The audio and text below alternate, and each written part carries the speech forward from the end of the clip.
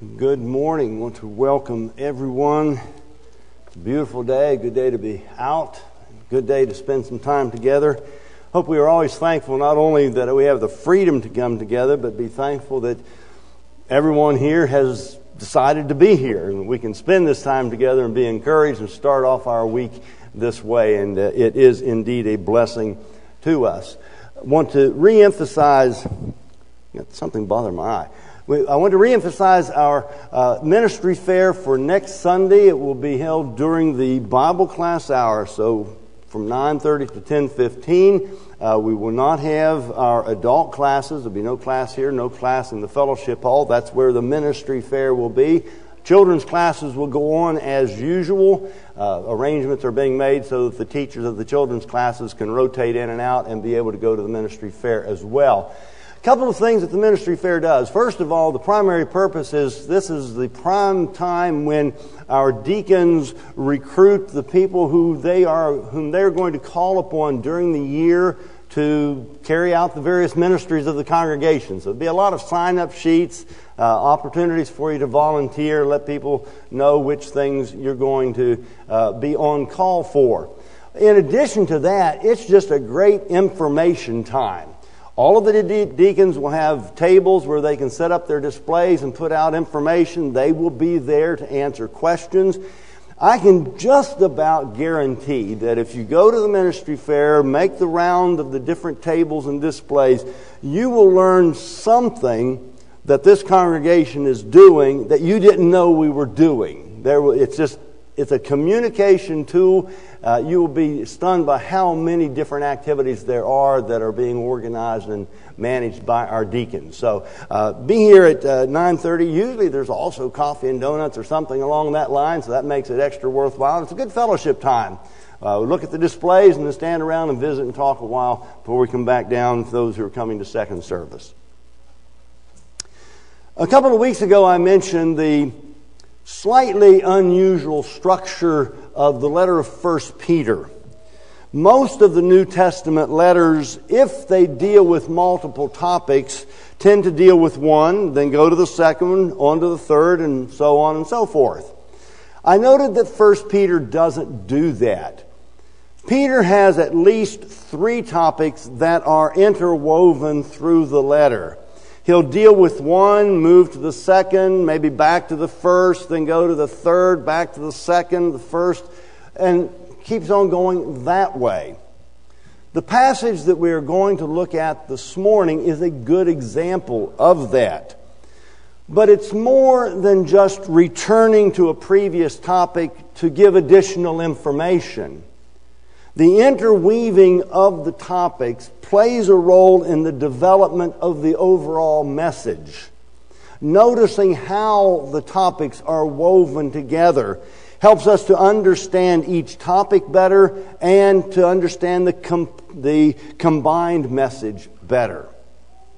Let's quickly review three of Peter's main topics. Probably the most dominant of the three is the identity of his readers as foreigners on earth. This includes passages about dealing with persecution. And remember that persecution in 1 Peter is not always overt, direct persecution. It also includes daily isolation and social exclusion, which cause various financial and emotional hardships. A second big theme is maintaining a focus on the goal of a pilgrim's life. I am more and more inclined to settle on 1 Peter chapter 1 verse 13 as the theme statement of 1 Peter. Gird up the loins of your mind, be sober, and rest your hope fully upon the grace that is to be brought to you at the revelation of Jesus Christ. This is also linked to the idea of their relationship with God. They were serving God and they looked forward to being rewarded by God. The third theme is the one that is the most likely to be overlooked as being a major theme. This theme is presented in passages that talk about their relationships with each other in the church. We would call this fellowship. But this fellowship is much more than just spending pleasant moments together eating ice cream. Since Christians were the cast offs of the world, it was important that they band together in mutual support of each other. All of these three themes are tightly interlocked in 1 Peter. The text this morning in 1 Peter 4, verses 7 through 11, is focused primarily on the fellowship theme. It talks about Christians banding together for faithful service to God. But this fellowship passage is sandwiched in between two passages about dealing with persecution and suffering. The suffering passages include statements about their eternal destination, their ultimate focus. So, if we keep the interaction between the themes in mind, it will help us understand and appreciate better what Peter says in verses 7 through 11 of chapter 4. Let's start by situating verses 7 through 11 in their context. Last week, we looked at the preceding passage, the strange passage about Jesus preaching to spirits in prison and the gospel having been preached to those who are now dead. Some of the major details in that passage are strange, they're hard to understand. I tried to give you what I think is a reasonable explanation for most of them. But even without a full understanding of all the details, the overall message of that passage is clear. If Christians suffer, they are in good company because Christ also suffered. He suffered in the flesh, he won a victory in the spirit, and Christians can share in that victory. The last couple of verses of that passage, leading up to verse 7 of chapter 4, also brought in the idea of judgment and eternal reward. The theme of suffering resumes after the passage we're looking at this morning, resumes in verse 12. 1 Peter 4, verses 12 and 13. He says, Beloved, do not think it strange concerning the fiery trial which is to try you as though some strange thing happen to you, but rejoice to the extent that you partake of Christ's sufferings, that when his glory is revealed, you may also be glad with exceeding joy. These are not new ideas either in Peter. At the end of chapter 2, he wrote some of the some very similar things, the difference being that in chapter 2, he applied their sharing in the sufferings of Christ and applied that to slaves who were being mistreated by their masters. At the end of chapter 4, he's making a more general application to all Christians who suffer for their faith. And notice that just like at the end of the preceding passage in verses 5 and 6, in verses 17 through 19, he also ends that little section with a reminder about, excuse me, final judgment and trusting God. Verse 19 says, Therefore, let those who suffer according to the will of God commit their souls to Him in doing good as to a faithful Creator. In between these two passages about Christians facing persecution, Peter inserts verses 7 through 11. There is no mention in verses 7 through 11 of suffering. That does not mean that there is no connection to the paragraphs before and after, which do mention suffering. Peter has just written in verse 5 that God will judge the living and the dead. He then opens this new paragraph in verse 7 with a similar idea.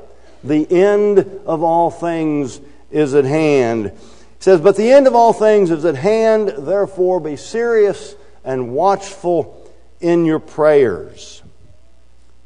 The stumbling block in this verse is the part about the end is at hand.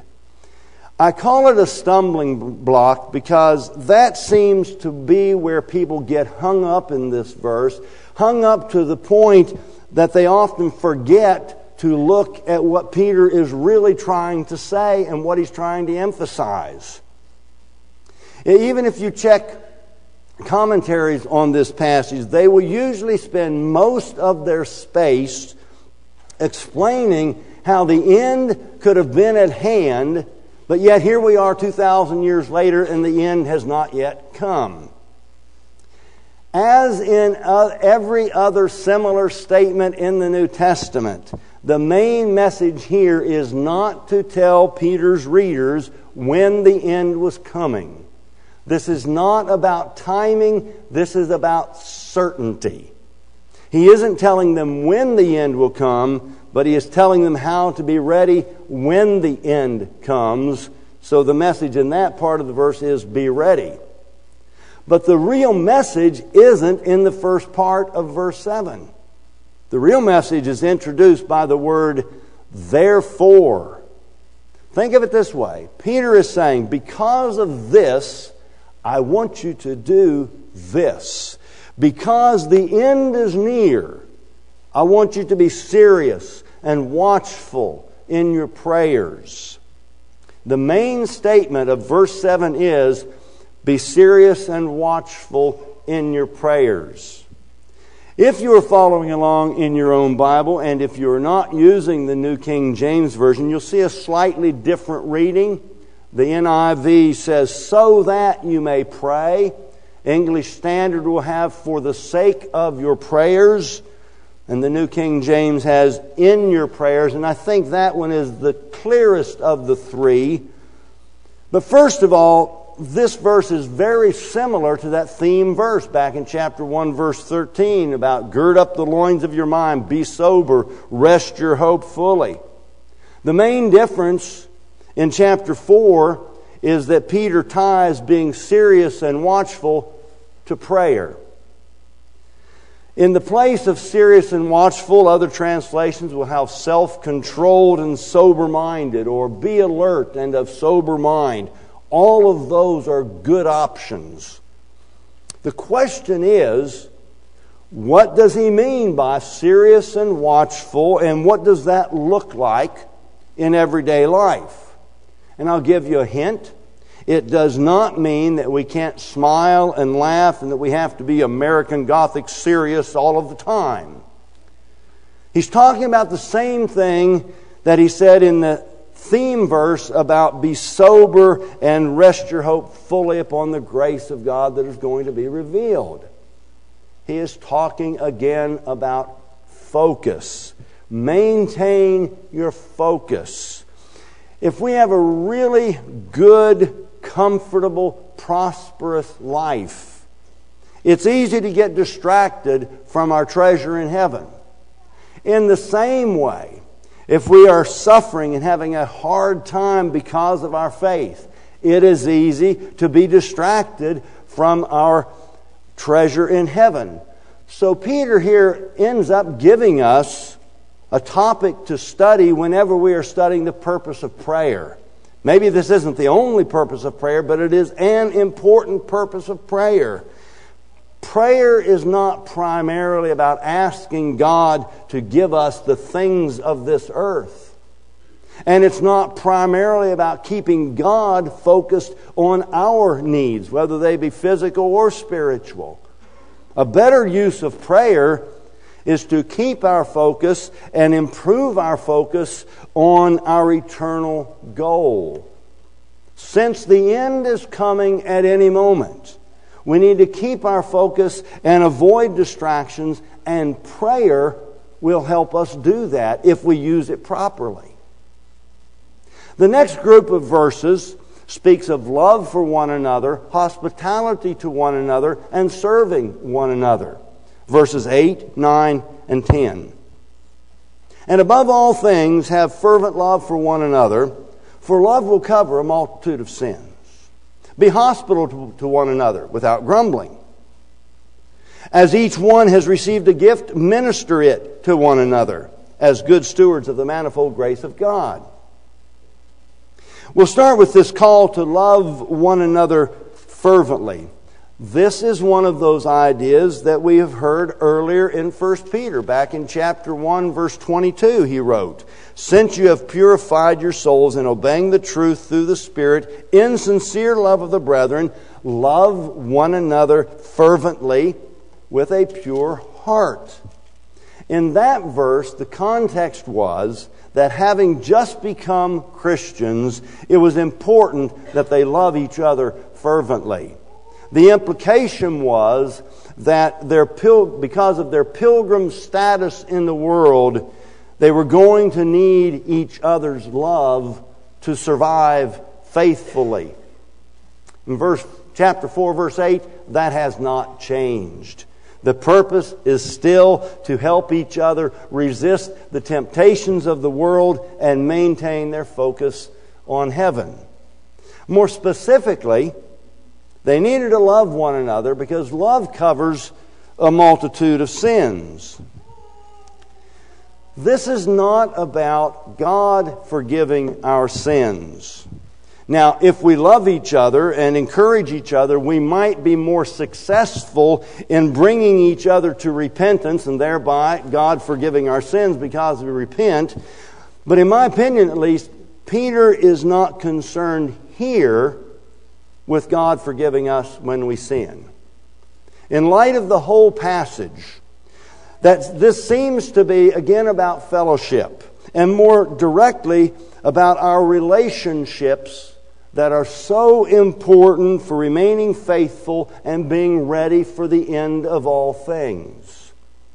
Paul made a similar statement to the Galatian Christians.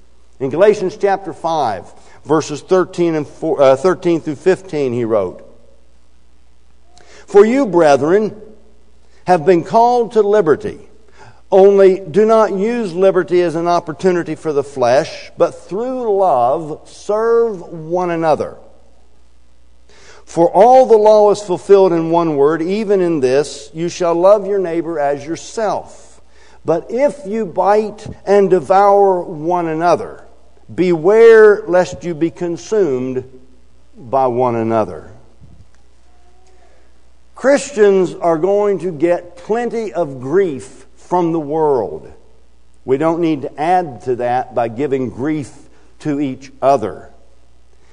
In our band of brothers, we need to be very forgiving and cut each other some slack.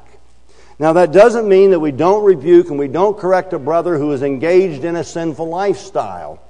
It does mean that we overlook personal offenses whenever possible. Next, he says to be hospitable to one another without grumbling. Verse 9. Now, there's a detail here that isn't evident in English. I couldn't find it in any English translation. It won't change the meaning totally, but it might make it a bit clearer for us when we're aware of this little detail. Verses 8, 9, and 10 are all one sentence. Nearly all English translations tend to make each verse there a separate sentence. The English Standard even combines verses 10 and 11 into one sentence, put a colon between verses 10 and 11. But Peter wrote 8, 9, and 10 as one sentence with a period at the end of verse 10. The importance of that is that these three verses might be more closely related to each other than we realize when we think they're separate sentences. It could be that love one another from verse 8 is the lead thought, because if we love one another, we will be more forgiving. If we love one another, we will be more inclined to show hospitality. We should also see the hospitality as being more than just so, uh, social politeness. There are various possibilities for how this hospitality might be exercised. It's often suggested that since there weren't any clean, nice hotels available in the first century, that providing room and board for traveling Christians was more important then than it may be today. That is one likely application. But it probably has more to do with this general idea of Christians being marginalized by the world And therefore, it was more important than ever that they take good care of each other. Now, that would apply to housing traveling Christians, but it would also apply to members of one's own congregation. They needed to be in each other's homes and in each other's lives to have the level of fellowship that was needed in order to resist the pressures and even the hostility of the world. Christian homes were to be havens of peace for fellow Christians. This is not a book about social graces. It is still a survival manual for pilgrims living in a hostile environment. As for us, we may not be suffering much direct persecution, but we still live in a world that isn't kind to Christian values. We need each other's love and fellowship and hospitality just as they did in the first century.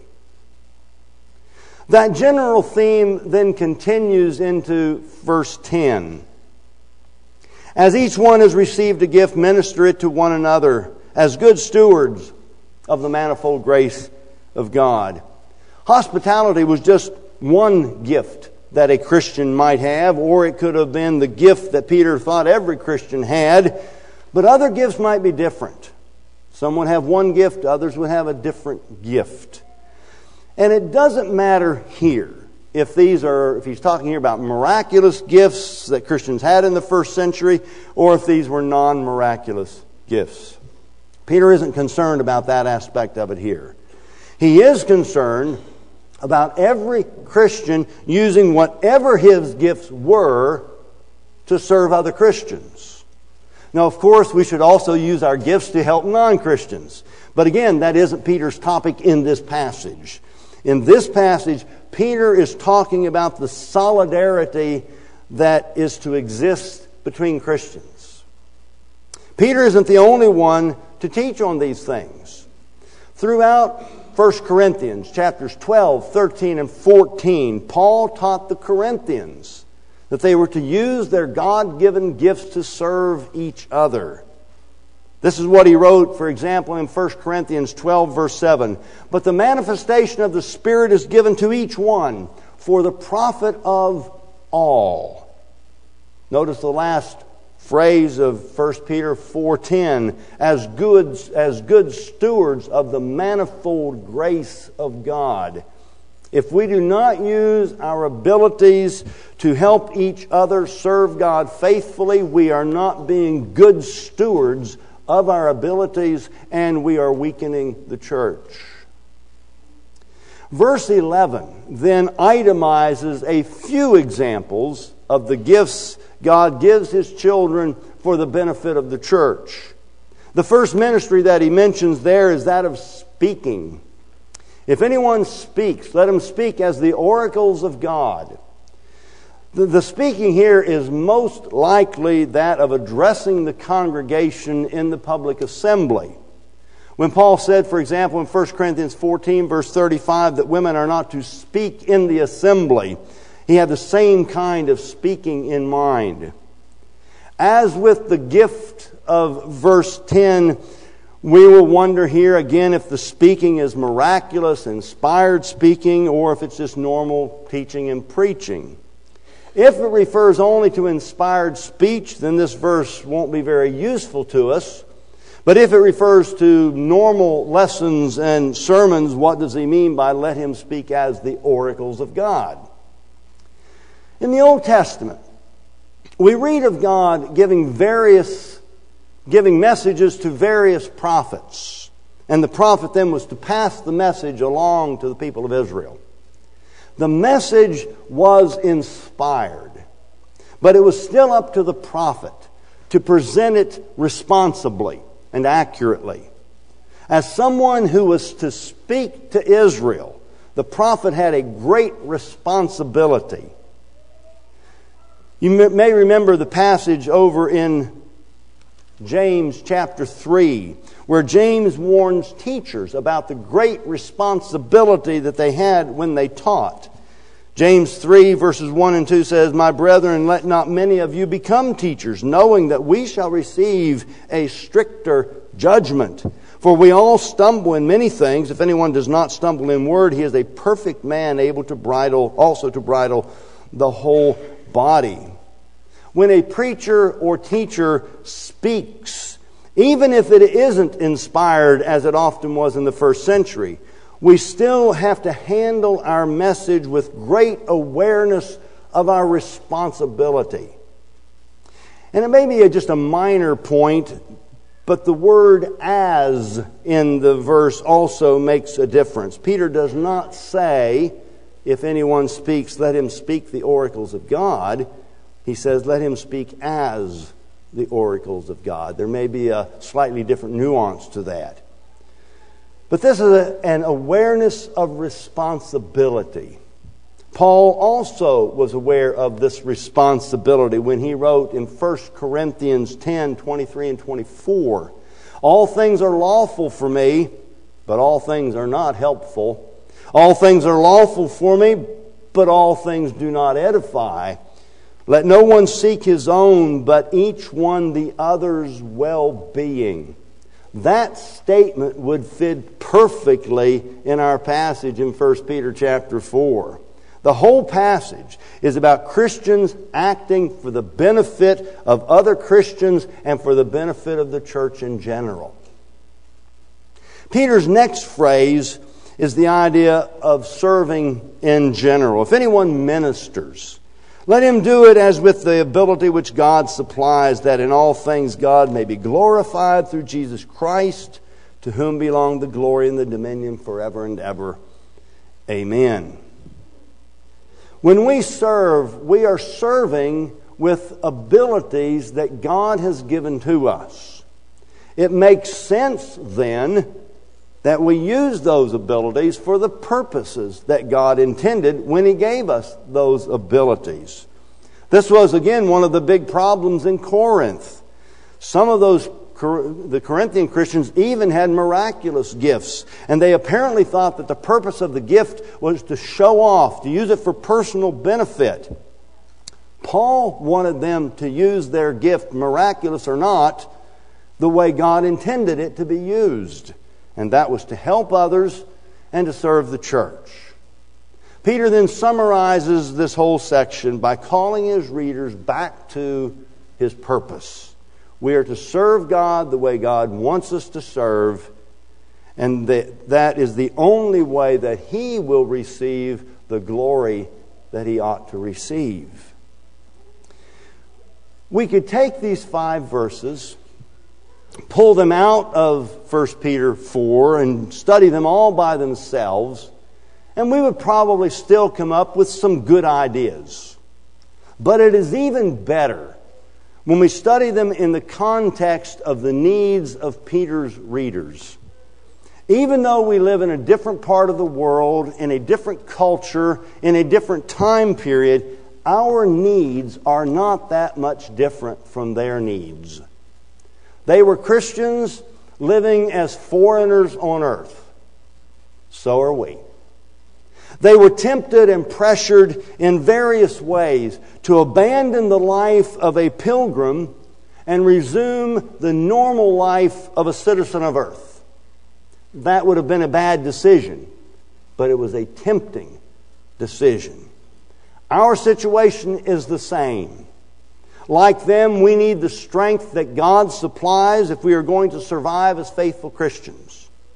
And the strength that God supplies is often supplied within the band of brothers called the church. Let us use our gifts to help each other arrive at the destination just as God intends. We are saved individually. But immediately, God adds us to His church. Christ died so that each one of us could have our sins forgiven and so that we could live on earth with heaven in our future. If you believe that Jesus is the Son of God and the Savior who died for your sins, then act on that faith by turning from sin and being baptized for the forgiveness of your sins.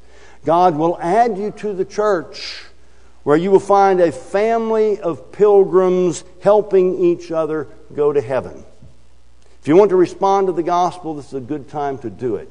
If you want to renew your commitment to the pilgrim life and you want the church to help you, this is a good time for that as well. If you want to respond to the invitation this morning, let us know while we stand and sing.